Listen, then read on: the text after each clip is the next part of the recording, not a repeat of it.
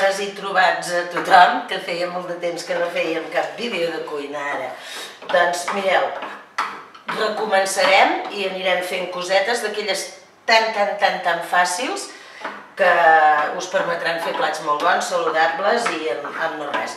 D'entrada aquí tenim uns pinyonets que estem torrant, però quan torrem pinyons, no sé que ho fem al forn, és millor fer com si els fregíssim, és a dir, amb una miqueta d'oli. Els deixem un segon i ara mirem els ingredients que necessitarem per fer una amanida d'api, pastanaga, poma i pinyons. D'entrada aquí tenim una pastanaga, com sempre la pelarem amb el pelador que va molt bé i després amb el mateix pelador farem uns encenalls que seran els que posarem a l'amanida.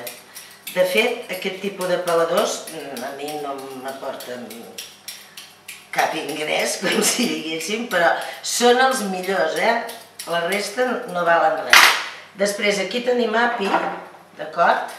I farem una mica el mateix. L'api és una hortalissa eh, força d'hivern. Ah, i un moment, perquè si no els pinyons... Molt bé. Els traurem ja i els tornarem a posar aquí. Els escorrem una miqueta de l'oli, d'acord? Els deixem.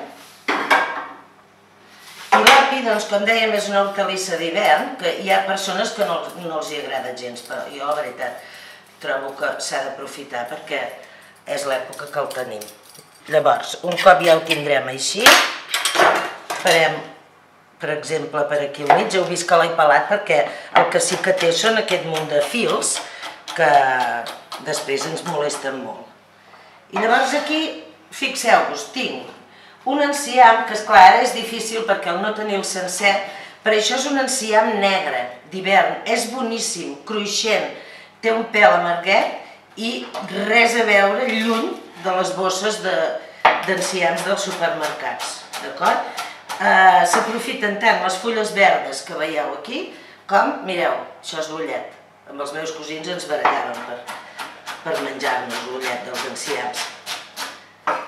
Ja ho tenim tot preparat. Aquí tenim uns trossets que no ens acaben d'agradar, que han sortit de dins, fora, i ara la poma ho farem molt rapideta, això ja la pelem, la poma, la, la classe que vulgueu, perquè en definitiva com que d'això en tenim tot l'any i de moltes varietats, ara bé, si no sabeu quina triar, doncs jo crec que la Golden és una poma que sempre ens funciona bé. I ara ja farem un tallat del, de la poma, farem així com uns bastonets, això és igual, cada un pot tallar com, com li vingui de gust. I ara ja, amb les amanides, el que fem és agafar el plat i posar-les directament damunt d'aquest plat. Agafem l'enciam. Bé, i una cosa, si voleu posar una mica de sal, poseu-li fora de la plàtera, que si no fa molt lleig. Barregem l'api, la poma i l'enciam. Ho deixem caure sense ordre ni concert. Aquí tenim uns trossos, ah, això. I ara agafem la pastanaga, i també l'anem col·locant doncs, tal com ens caigui. Agafem els pinyons, que els teníem aquí, els anem fent caure per l'amanida, i ara per últim farem una cosa molt senzilla, que és la següent. Mireu, això és mel, que és molt bona, de les borges del camp, una miqueta de mel,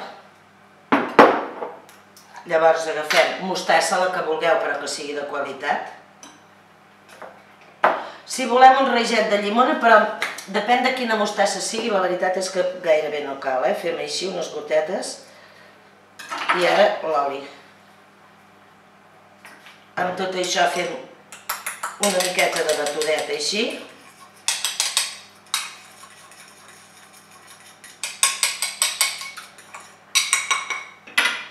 un rajolinet més d'oli